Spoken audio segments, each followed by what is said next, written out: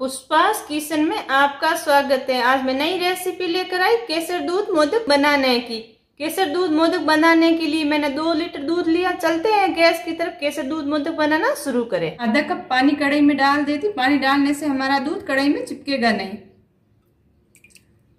कढ़ाई में दूध डाल देती हूँ। मैंने मोदक बनाने के लिए मैंने फुल क्रीम दूध लिया है। मोदक बनाने के लिए हमें फुल क्रीम दूध की ज़रूरत पड़ती है। मोदक बनाने के लिए दो लीटर दूध लिया। दूध को कढ़ाई में डाल देती हूँ। दूध को गर्म होने देते हैं। दूध को हमें चम्मच से बीस बीस में चलाते रहना, नहीं तो दूध हमारा तले में चिपक जाएगा। दूध का हमारा अच्छे से उबाल आ चुका है। दूध को बीस बीस से हमें चम्मच से चलाना है। साइड से मलाई को किनारे से हटाकर दूध में मिक्स करते जाना है। कढ़ाई में दूध को डाला था, तब दो लीटर दूध था, अब दूध हमारा डेढ़ लीटर बचा है। इस तरह से हमें दूध को उबालना है।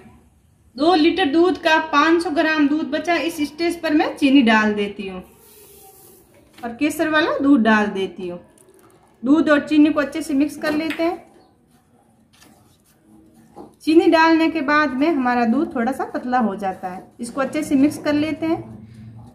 मोदक बनाने के लिए हमारा मिश्रण बनकर तैयार हो चुका अब मैं इसको ठंडा कर लेती हूँ। ठंडा करने के बाद में मोदक बनाना शुरू करेंगे। मोदक बनाने के लिए मिश्रण को मैंने एक बाउल में निकाल लिया। ठंडा करने के लिए मिश्रण को ठंडा होने देते हैं। मोदक बनाने के लिए हमारा मिश्रण ठंडा हो चुका मोदक बनाना शुरू करें। मोदक बनाने के लिए मिश्रण को हाथ में ले लेते हैं। बॉल्स बना लेते हैं मोदक बनाने के लिए। मोदक बनाने के लिए हमारी बॉल्स बनकर तैयार हो चुकी। अंगूठे की सहायता से बीच से इस तरह से दबा लेते हैं। बारीक कटे काजू, किशमिश और पिस्ते डाल देती हूँ। बॉल्स बना लेते हैं। इस तरह से उंगली की सहायता से घुमाते जाइए और मोदक हमारा बनता जाएगा।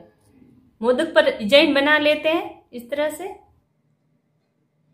आप देख सकते एक मोदक हमारा बनकर तैयार हो चुका इस तरह से मैं सारे मोदक बना लेती हमारे मोदक बनकर तैयार हो चुके आज से बहुत सुंदर मोदक बने आप भी एक बार मेरे तरीके से आज से गणेश चतुर्थी पर मोदक ज़रूर बनाएँ। मोदक बनाने का मेरा वीडियो आपको अच्छा लगा हो तो लाइक, शेयर, कमेंट। मेरे चैनल पर आप नए हो तो मेरे चैनल को सब्सक्राइब करना न भूलें।